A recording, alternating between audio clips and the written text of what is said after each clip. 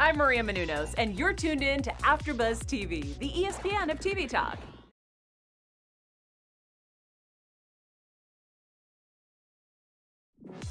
I'm Maria Menounos, and you're tuned in to AfterBuzz TV, the ESPN of TV talk. Now, let the buzz begin. I'm like, I can't hear the music, but I know it's playing. Nyambi, um, welcome. Welcome to AfterBuzz TV. How are you? I'm amazing. I'm doing all right. Doing all things considering, I'm doing I'm doing well. I love to hear that. Okay, so I got to get this question off the top, and this is going to really dictate how this interview is going to go. So, Ghanaian jollof or Nigerian jollof? I mean, come on now. See, I feel like you're you're already hedging your bets. You're already you're already trying to lead. You know I'm Nigerian, so I'm gonna always say Nigerian jollof rice. Okay, and I'm uh, Guinean, so yeah. you know that is, I think, a long history of battling, and I know you know in the back of your mind that it's really Guinean jollof that really you know pops what? off. For for the purposes of this interview, so we can, I can I can leave unscathed. I'm gonna let that. but I'm simply enjoy my Nigerian jollof rice. Uh, let's jump right into it. Um, so, for viewers that are not familiar with the Good Fight, tell us where does this season start, and how can they jump right into it? All right. Well, as far as this season, this season of the Good Fight uh, sort of begins. Actually, begins from where we left off from season three. This is season four. Uh, season three, we were left with a cliffhanger as far as not knowing whether or not Diane or uh, Kurt uh, were hurt in terms of um, you know the, the, the authorities coming in and and you know you know raiding their house. So um, so the question is you know what happened, and uh, we begin this uh, season with uh, a what if scenario. Mm-hmm. What if certain things happen? Now I know people have seen the you know some people have seen the episode, but I don't want to. I'm what if I don't want to ruin it? I just don't want to ruin it. You know what I mean? For the people okay. who haven't seen it. Because I just about, want, you know, I you know, I don't want people to like, you know, hear it and then be like, ah, I don't know about that. But then but at the same time, it's like, you know, what if I have to say it.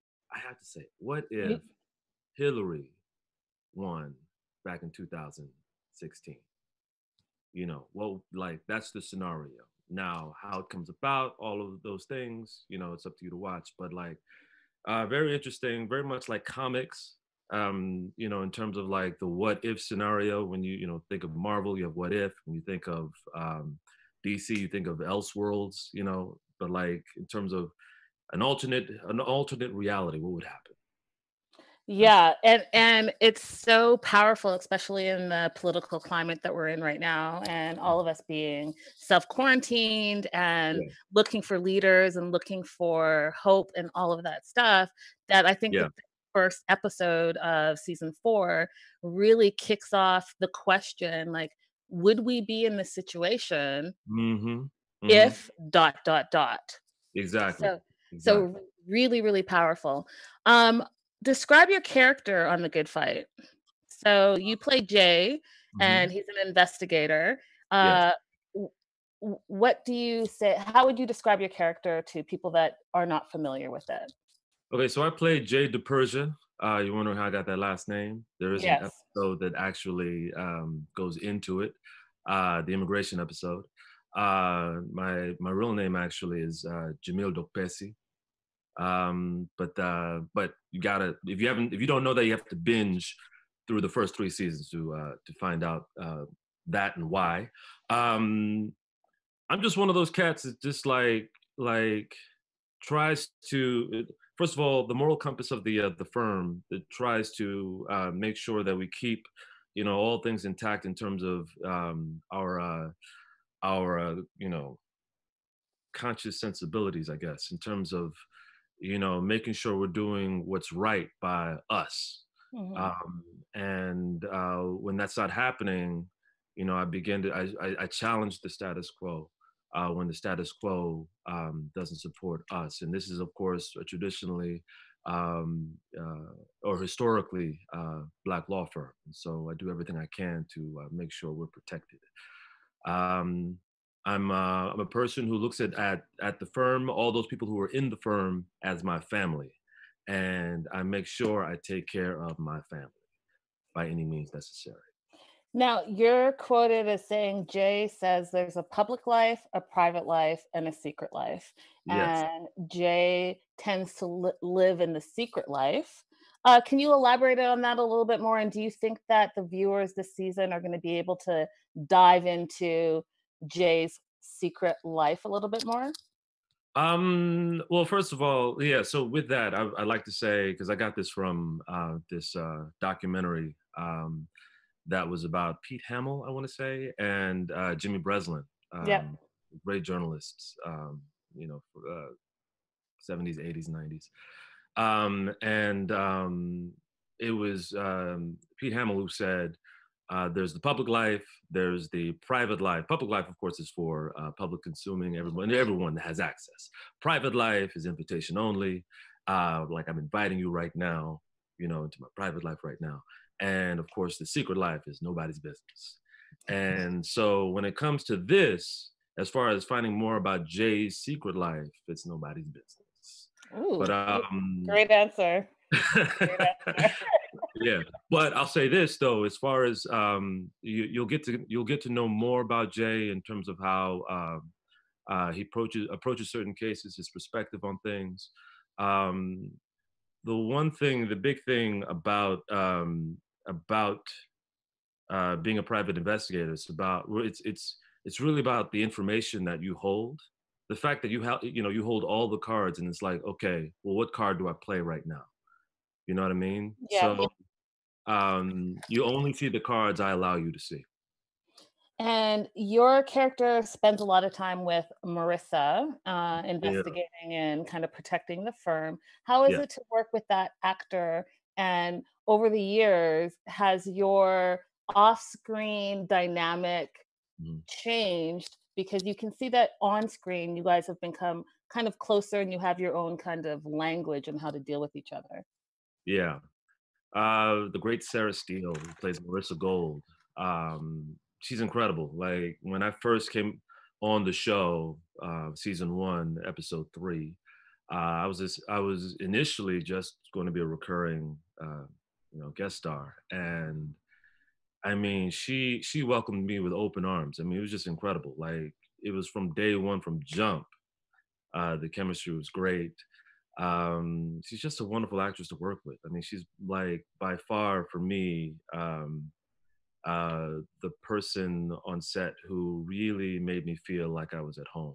And then, of course, as long as you know, the longer I've been there, and and over the, the course of the season, the seasons, um, everyone has been, you know, family. I mean, it's been great. It's been it's been great. But it all started with with Sarah Steele for me. That's awesome.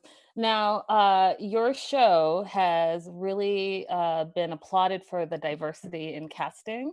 Mm. And I know that it's like 50 50, uh, African Americans, women, all of that. So I wanted yeah. to ask you a little bit about uh, if you can speak on the diversity in casting, as well as it is it like that behind the scenes with the crew and production?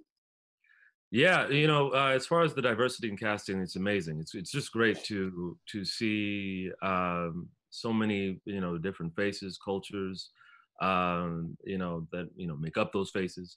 Um, it's just it's it's it's great to reflect the world we live in, and um, and that's a beautiful thing. Uh, same with the set. I mean, you see uh, women, you see people of color, you just see a variety of people um, who are working uh, behind the scenes. And then I got to give it up to our background actors, man. Our background actors are incredible. Like they're the ones that, that really do set the tone with the professionalism that they bring and the and the uh, the wealth of talent that they bring. Um, because um, you know I watch many movies and shows where my favorite part is to watch the uh, background actors mm-hmm. and how much they um, they they can steal focus mm-hmm. um, because they're they're doing a little uh, too much. Um, but uh, these actors are just it takes it takes it takes skill and um, you know, and and uh, a level of uh, acting chops and imagination to uh, do what they do, and they bring it every time.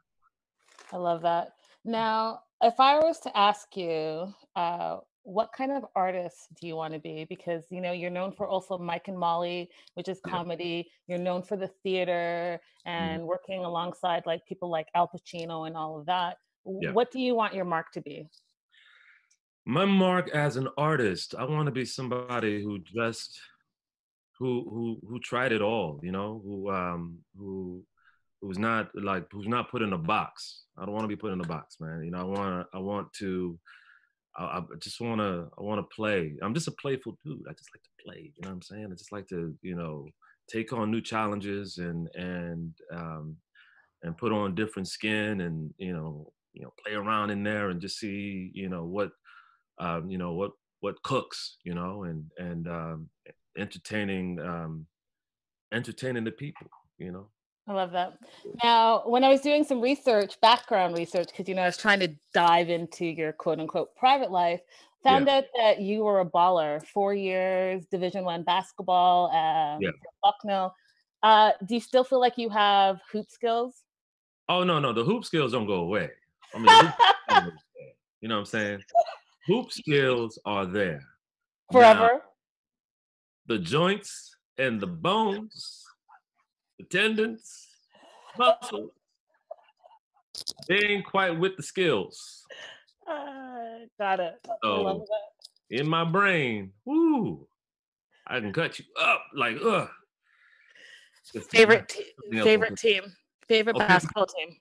Favorite basketball team. I grew up a Lakers fan because I was a huge Magic Johnson fan huge, huge fan of Magic Johnson. Like, like you couldn't tell me no, there was nobody better. Like that was that was me. My ride or die was Magic. Uh, so I've been a Lakers fan all my life. Um, and then of course collegiately, you know, I was born in Oklahoma, so I've been a huge University of Oklahoma, Oklahoma Sooners fan. So um, college, Oklahoma, NBA, the Los Angeles Lakers. Love it. Now I also found out that you are an avid comic book fan, uh, yeah. writer, and you draw. So mm-hmm. I guess my question to you is because I know that you have a few books that have already been published.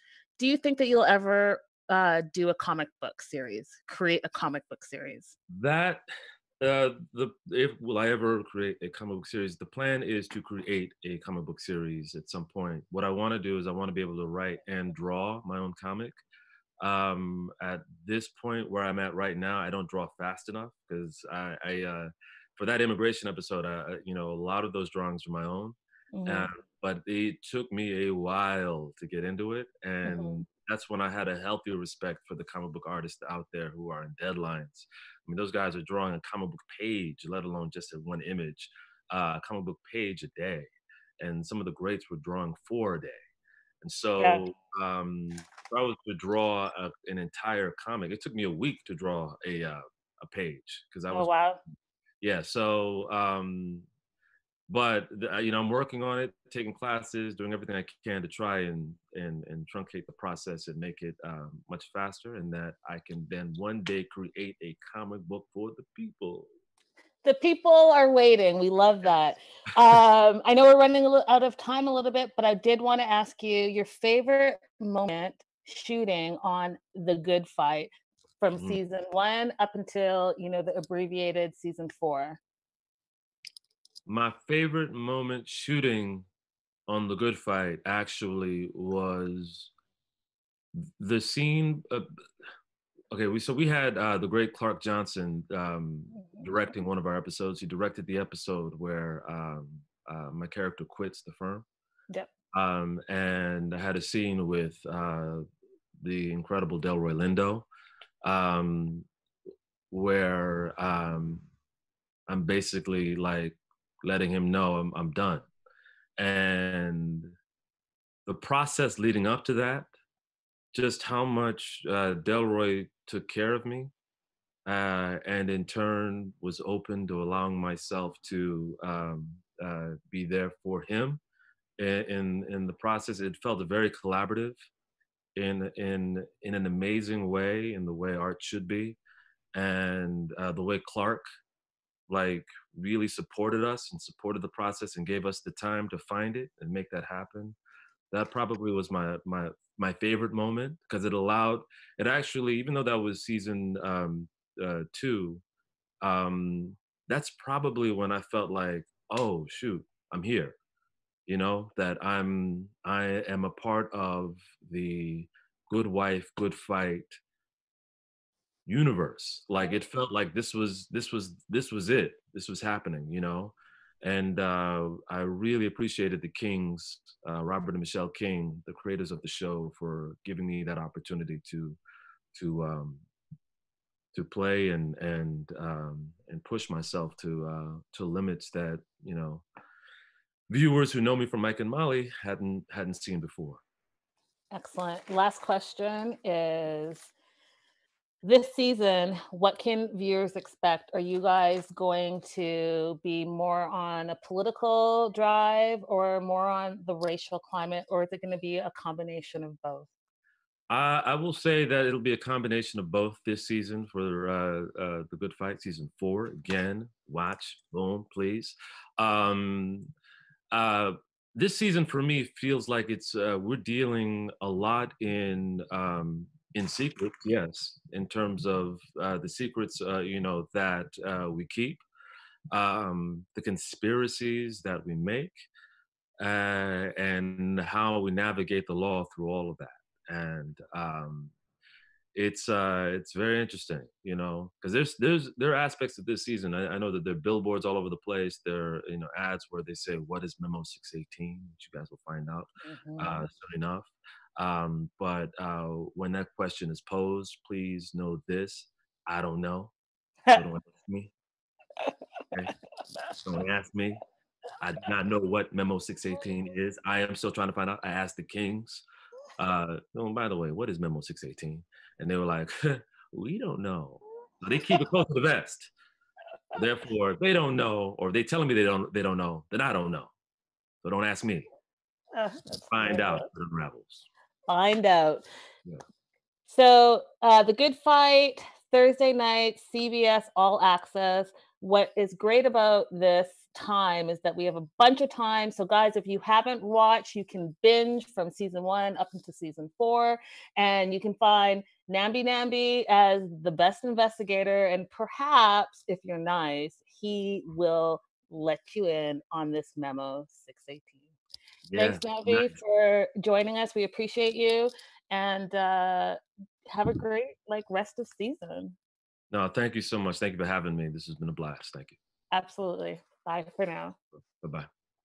Our founder, Keven Undergaro, and me, Maria Menounos, would like to thank you for tuning in to AfterBuzz TV. Remember, we're not just the first, we're the biggest in the world, and we're the only destination for all your favorite TV shows. Whatever you crave, we've got it. So go to AfterBuzzTV.com and check out our lineup. Buzz you later. the views expressed herein are those of the hosts only and do not necessarily reflect the views of AfterBuzz TV or its owners or principals.